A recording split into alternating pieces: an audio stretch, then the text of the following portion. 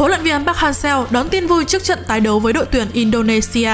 Lịch thi đấu dày cộng với việc phải di chuyển liên tục khiến thể lực của các cầu thủ Việt Nam bị ảnh hưởng. Trước trận bán kết lượt về AFF Cup năm 2022, các cổ động viên Việt Nam lo lắng khi Tiến Linh và Hoàng Đức phải truyền nước Mặc dù vậy, trong buổi họp báo trước trận đội tuyển Việt Nam với đội tuyển Indonesia, Tiến Linh đã báo tin vui tới huấn luyện viên Park Hang-seo cũng như người hâm mộ. Tiền đạo này cho biết, hiện tại thể lực và tinh thần của tôi cũng như toàn đội không có vấn đề gì nghiêm trọng, tất cả đang sẵn sàng 200% cho trận đấu vào ngày mai.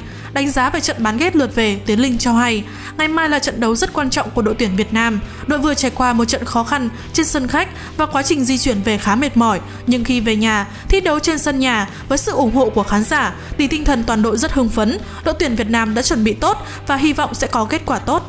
Việc ghi bàn sớm sẽ giúp cho đội chơi thanh thoát, tự tin hơn. Tuy nhiên, quan trọng là giữ được tỷ số, ghi bàn và chiến thắng. Toàn đội sẽ thi đấu đoàn kết, giữ vững tinh thần Việt Nam. Hy vọng ngày mai, toàn đội sẽ chiến đấu với tinh thần Việt Nam từ trước đến nay. Tiến Linh chia sẻ thêm. Tiến Linh hiện là chân sút tốt nhất của đội tuyển Việt Nam tại AF Cup năm 2022 với 3 pha lập công. Chân sút thuộc biên chế Bình Dương được kỳ vọng sẽ giúp cho những ngôi sao vàng giành được chiến thắng trước đội tuyển Indonesia để vào chơi trận chung kết.